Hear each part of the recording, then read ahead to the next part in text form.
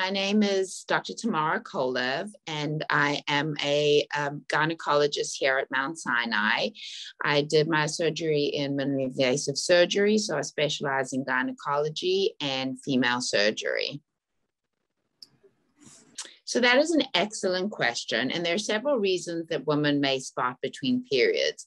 So to take a look at it, you have to div divide it into sort of structural uh, pathology, so such things as fibroids, polyps, um, a condition called adenomyosis, all of which is most likely benign.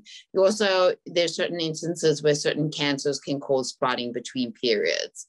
You also have to look at some, you know, non-structural pathology, such as uh, ovulatory dysfunction, certain medications, um, diff- different disorders as far as bleeding or medical problems such as thyroid disease. So if you have an irregular period once or twice, then that can be within the normal spectrum. However, if you notice that you're continually having irregular periods, then it's better to have them evaluated.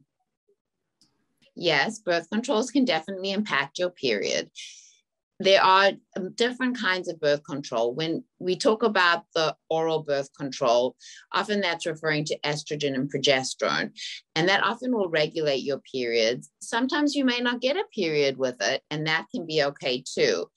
There's also a, a birth control that's progesterone only.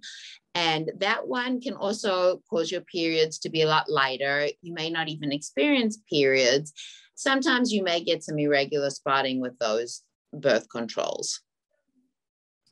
So excessive alcohol consumption can affect your period because it can lead to different levels and impact your hormone levels, which can impact your periods.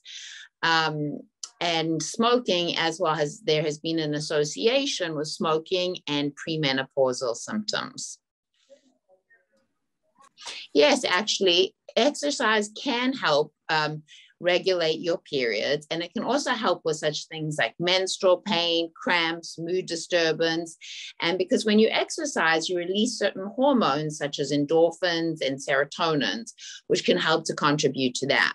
However, on the opposite ends, if there is excessive intercourse, uh, uh, excessive, excuse me, exercise, it can lead to missed periods because the body needs a certain amount of body fat in order to produce estrogen and maintain the hormonal balance that's required to have normal periods.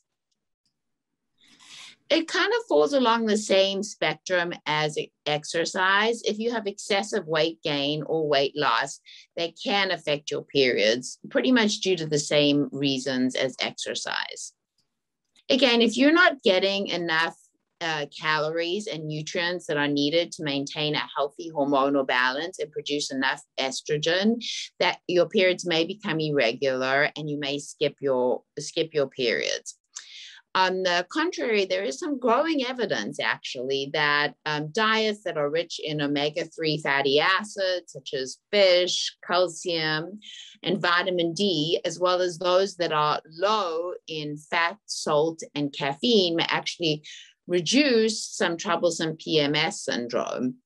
So, there in that aspect, it can also affect your periods. Additionally, avoiding salt can help with fluid retention, some of the bloating that is associated with periods. There are some vitamins, such as vitamin D, that can help to regulate your periods if there is a deficiency in vitamin D. So when the body is under stress, it leads to overproduction of certain stress hormones. And that can again, everything goes back to that whole hormonal balance. So if you have something that affects the hormonal balance, that will thus in turn affect your periods. Yes, so as you get older and you approach menopause, your periods will likely start to spread apart, become less regular and more spread apart. They also may become a lot lighter. If you do notice, on the other hand, that your periods are getting heavier or more frequent, then it's important to have that evaluated So yes, because lack of sleep can affect again this it falls back on the spectrum with the stress hormones and it also affects melatonin, which can definitely impact your period. Well, if it's truly your preg- your period, then no, you cannot get pregnant during your period because you won't be ovulating. However, if you've been having irregular bleeding and you're not sure if this is bleeding between periods versus periods, and you may not actually be on your real period but could be ovulating, then you could get pregnant. But if you have regular cycles and this is truly your period, then you will not get be able to get pregnant because again, you won't be ovulating. So if women are deficient in iron, there can be, um, and that could be due to malabsorption or other areas, it may impact the blood flow, which can impact your period. And on the other hand, if you have heavy periods, that may actually lead, uh, due to the blood loss, to low iron levels. Yeah, basically, your period and a, and a woman's period is indicative of their overall health and their overall um, balance with the with the hormone within their hormones.